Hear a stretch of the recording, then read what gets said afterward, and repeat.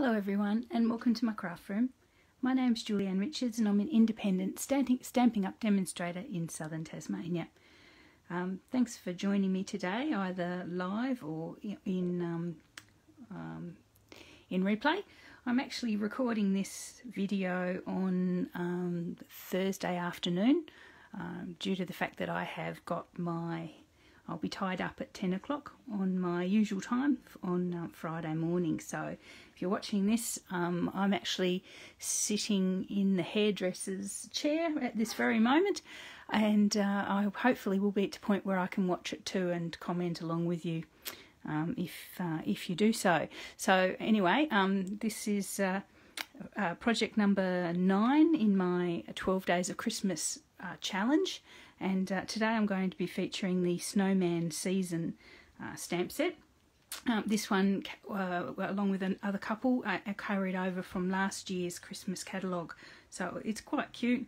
Got some lovely little, um, quite characterful snowmen there. And this one here that you can actually use with the punch, which I haven't got out at the moment because I don't actually use it. So it's one of those really great stamp sets that has a punch with it that you don't, so you don't have to worry about I can just grab it here. So you don't have to worry about die cutting or fussy cutting. Um, you've got the punch there, um, you know, ready to be used. So here it is here, the punch. Obviously cuts out this little snowman, his two little arms, his hat, and his cute little carrot nose. It also cuts out as well. So I won't be using that today, but as I said, it's a really handy little um, punch to have, especially at this time of year or leading into this time of year. Okay, what I am going to be doing today though with this stamp set is featuring this little guy here who's having such a lovely time watching the, the snow come down from above. Um, yeah, not particularly applicable for the southern hemisphere, but it's a lovely image nonetheless that we're quite used to associating with Christmas down here. I'm going to do a gate fold card uh, and I'm going to go back to this beautiful um, designer series paper, the um, Snowflake Splendor designer series paper from the current August to December mini catalogue. Here's the catalogue here. Um, and it's here, Snowflake Splendor. If you buy this, um, uh, many of these designer series papers during October, you'll get 15% off. And this Snow, Snowflake Splendor is actually one of those um, on sale um, papers. So if you like the look of the paper we've used over the last few days with this challenge of mine, um, it's definitely a time to stock up and save. I've got a tiny little piece of it here. It's lovely blues and um, it's actually the opposite side of the one I used I think on day two. So what else I've got here that I'm going to make my gatefold is a panel of Pacific Point um, cardstock. It's, uh, I have to remind myself how big it is. I designed these cards a few days ago now, so I'm a bit pushed to remember. Um, eight and three quarters long, and it's scored at three inches there. So it just forms our half card, our gate here. What else I have is a couple of panels of um, uh, seaside spray one of them is for the inside like this, just like that. And that's a quarter of an inch smaller, so that would be uh, five and a half by three and seven eighths. And another one for the front here, which just fits in there. So that's also uh, a quarter of an inch smaller, so that would be two and three quarters by um, three and seven eighths again. I then have some Whisper White, which I've popped through my favourite embossing panel, embossing folder. You must wonder whether I actually possess any other embossing folders. I do, um, but this is my favourite for the Christmas period, especially because it goes so well with the snowflakes on the Snowflake Splendor Designer Series paper. So I've popped that panel of Whisper White through the um, Winter Snow um, embossing folder, uh, and it's got that wonderful um, snowflake pattern on it. Uh, and then I've got a smaller panel which fits snugly in on the front and it has also been popped through the embossing folder like that. Okay, so and also um, to contrast that I've got another panel of the Pacific Point which is going to go sort of horizontally across the front there to form our gate and I'm just going to tell you how much that is. I think that's four and an eighth by uh, three and an eighth. I'll just check that, three and an eighth. No, three and a quarter. Apologies for that. And our little piece of designer series paper, which is four by three and an eighth. It's going to sit on there like that. Then I have a couple of Whisper White circles. Now these have been cut with the largest stitch circle from the Stitched Shapes dies. So I've got one for the front, which I'm going to be stamping our little snowman on. And then I've got one to snug away inside there that I'm going to stamp a sentiment on. So it's a bit like that. So basically you can see the card coming together there pretty much as it is. Okay, I also have a piece of the um, the beautiful um, uh, Seaside Spray um, glittery ribbon that I promised I was going to use more of, and I definitely have. So it's the metallic ribbon um, in the Seaside Spray, which is a lovely sparkly ribbon.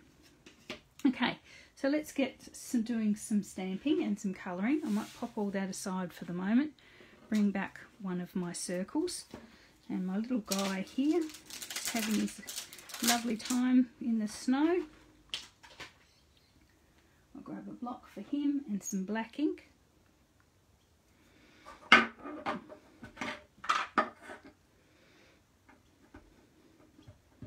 And I'm just going to stamp him straight onto this circle.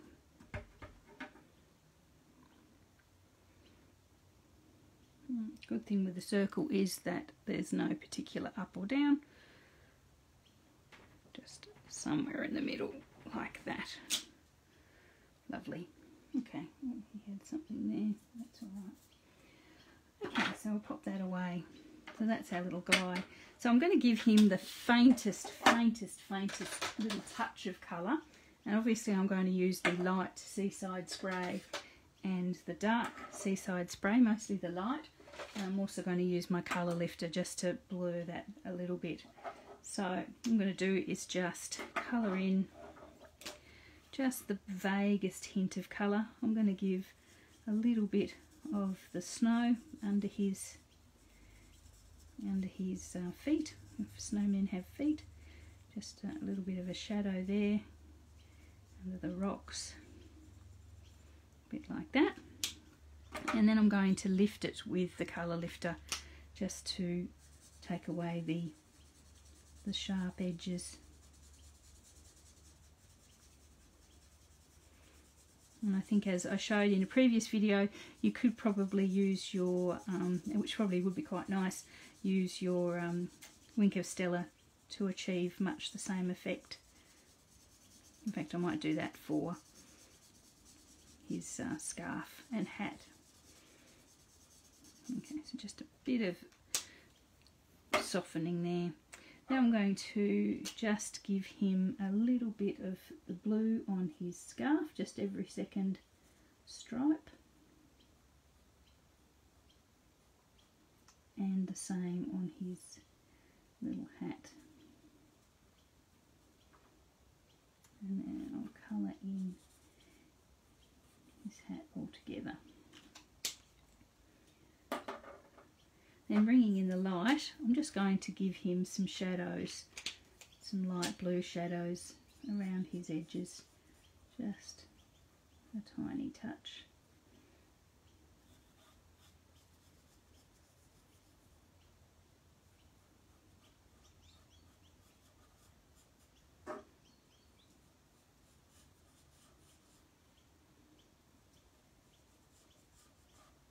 And again I'm going to bring my colour lifter back in and just blur those edges a tiny bit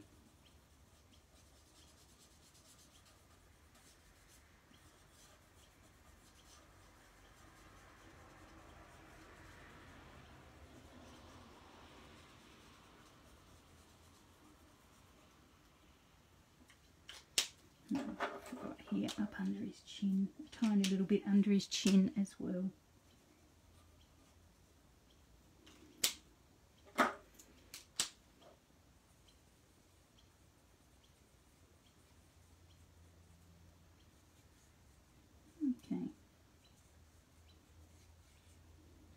Okay, so that's the faintest hint of colour.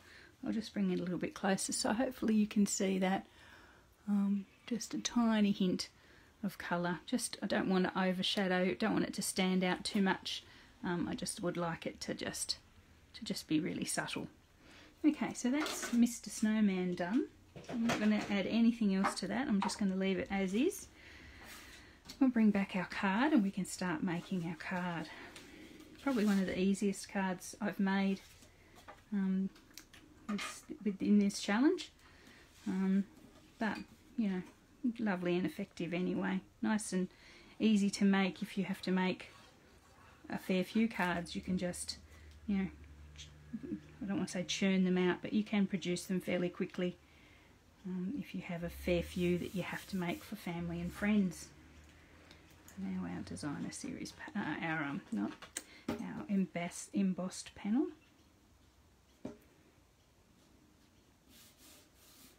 Here we are.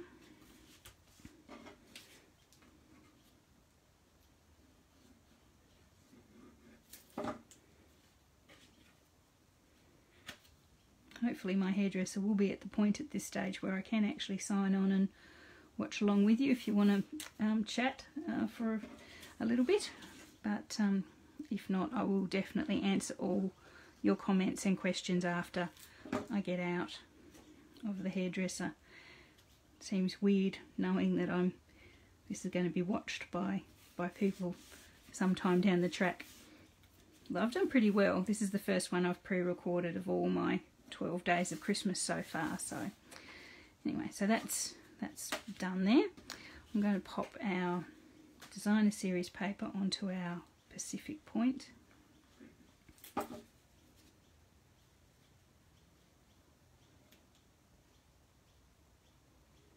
Just like that.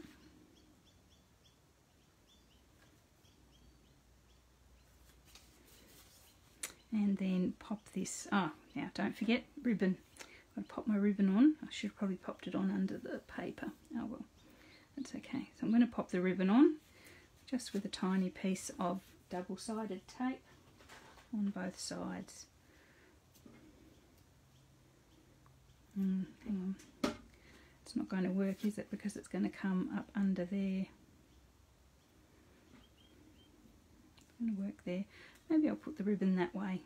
Yeah, I can do that this time. I was going to put the ribbon that way, but I'll go up and down because then it'll be, it won't get sticky on the, the, the back. I'll pop that there.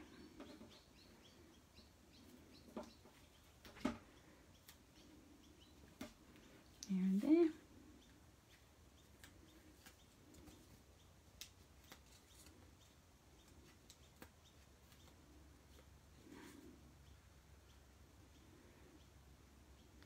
Oh, come on you.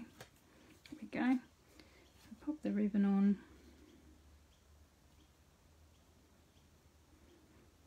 Curl it round.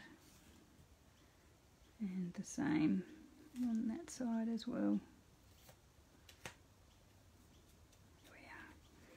And now I'm going to, to glue that sort of central to the whole layout of the card, but obviously only gluing it that half. So I'm going to put some glue just on this half and it'll use the the um, double-sided tape a little bit as well and pop that there like that.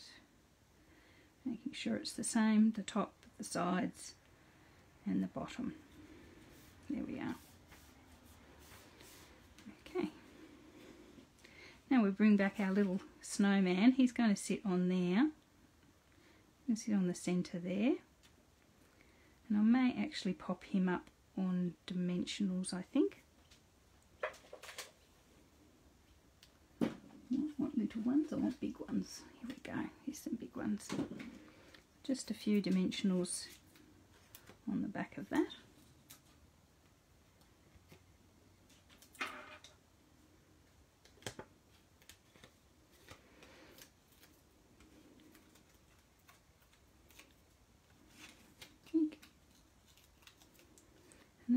to bring in a, a sentiment from the stamp set.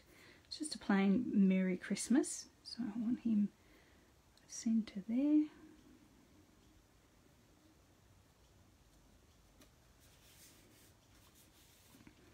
Bring in a Merry Christmas sentiment. I'm going to stamp that on this piece of scrap Whisper White. I'm going to use the um, Seaside oh, well I use Seaside Pacific Point might be a bit stronger. There's my Pacific Point. We had it out a second ago. Pacific Point, Pacific Point, here it is. I might use my Pacific Point as a bit more of a, a stronger colour, a darker colour.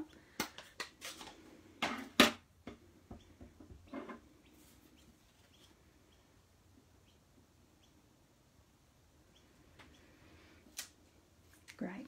And I'm going to actually cut that sentiment out so it doesn't cover over our snowman too much. So you've seen me do this before. Just basically follow the contours of the letters as closely as you want or can.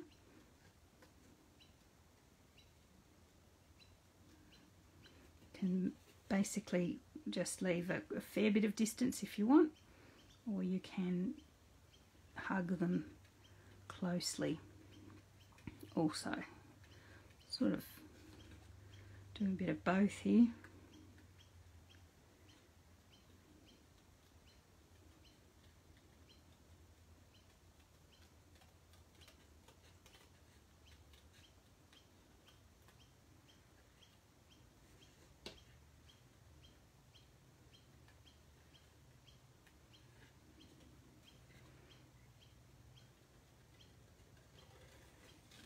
snip that off.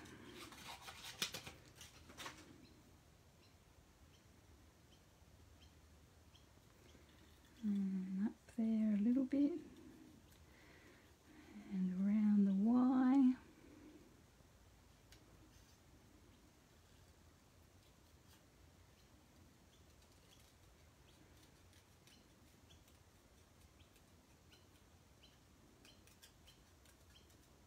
and around. Snip that S. There we are. We've got our Merry Christmas there. So what I'm going to do is pop that on dimensionals, well, one end of it on dimensionals and the other end flat, just so it just slightly over, over, oh, down there. I don't want it too low. I don't want to cover him over too much. It's quite a long Merry Christmas, isn't it? And I don't want to cover his snowball snowflakes either. They're probably there, I think. Just there.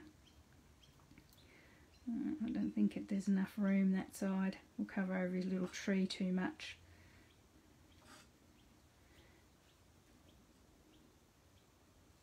definitely over here. Yeah, this is where I'm going to pop it.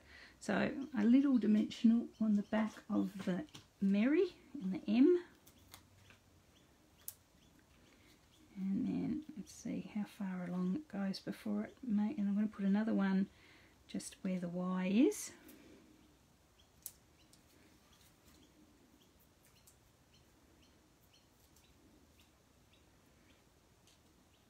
and then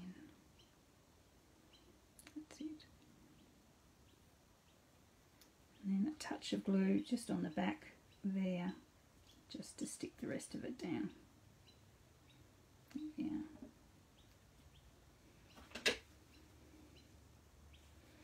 Okay, so there's the front of our card all done. I'm going to bring some bling in as well in a very short moment. So there's the front. So I'm going to bring back in the second of our stitched circles just to follow that theme through. That's actually going to go on the inside here, just so it covered sort of roughly corresponds with this, the position of our um, our front circle and I'm going to bring in the Let It Snow um, just as a little cute saying on the inside. And again I'll do it in my Pacific Point.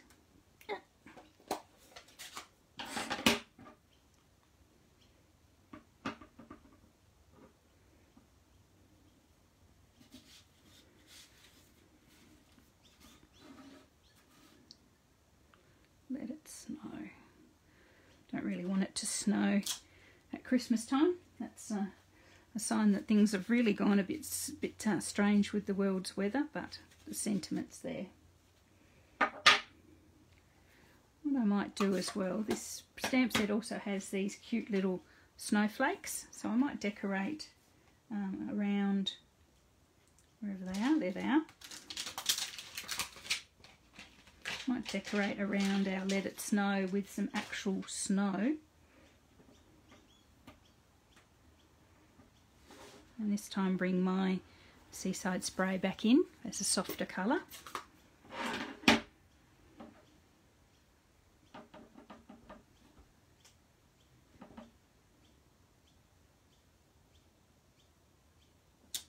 Yeah, I like that. Yeah, that's really nice. Sorry, I've gone down the bottom there a little bit. Apologies for that. And one more up here. There, that's sweet.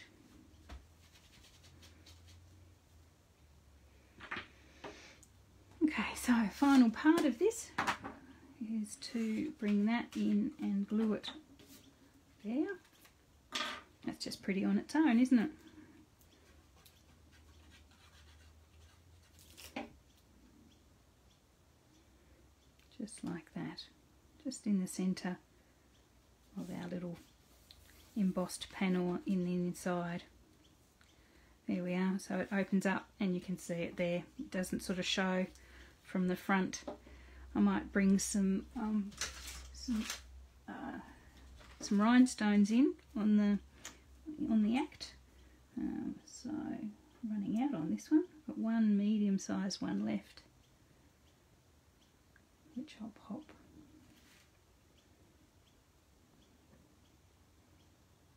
Here, and a couple of little ones.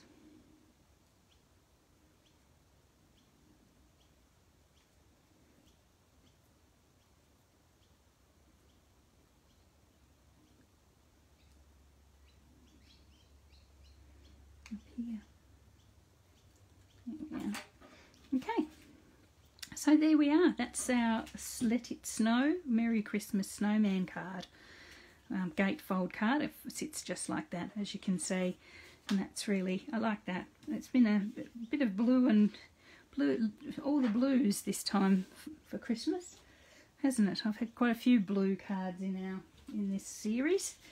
But anyway, that's my card number nine for my um, um, for my uh, 12 days of Christmas challenge. So I hope you enjoy that one and give that one a bit of a go.